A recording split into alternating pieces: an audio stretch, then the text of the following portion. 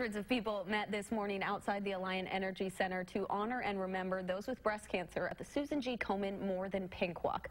Photojournalist Chris Hawbaker was there to learn more about the fundraising efforts to find a cure. Our More Than Pink Walk is a fundraising walk that goes on every year. And we, we come together here at Willow Island at the Alliant Energy Center. We honor our survivors and those with metastatic breast cancer, honor those that we, we've lost, and then highlight the importance of, of fundraising and supporting Komen's mission to help Susan G. Komen, Wisconsin achieve their bold goal of reducing breast cancer deaths in the U.S. by 50% by 2026. Why do I walk? Because I'm a survivor. I had a double mastectomy. I am one year and nine months cancer free. I have a team of 38 people here supporting me. Save the nipple.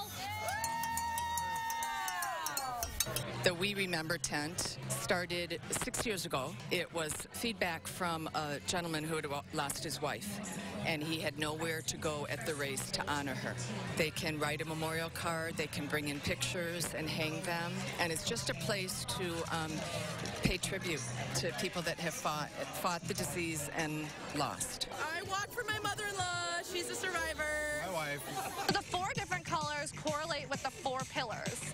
Research is purple, care is green, community is blue, and action is orange. And those are the, the colors that highlight being more than pink. And when people are waving their Komen wraps and cheering each other on, it just gets everyone energized and ready to, to fight this disease together.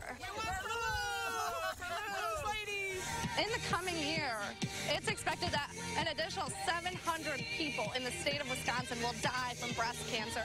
We need a cure, and that's why this walk is important, because the money that we raise goes towards breakthrough breast cancer research, including research right here in Madison. Walk for my grandma. Because I'm a survivor. This year we had over 2,100 people. To see over 300 survivors, all of those other people, their family and friends supporting them and supporting Susan G. Komen, Wisconsin in our mission to hopefully find a cure for this disease. We're here so that every woman on every step of this journey will know we are here for you. We've got your back. You can do this. We support you. You are beautiful. You are strong. You inspire us, and you will succeed. Thank you. News 3 Now is a proud sponsor of the Susan G. Komen More Than Pink Walk. You can learn more about their fundraising efforts on our website, channel3000.com.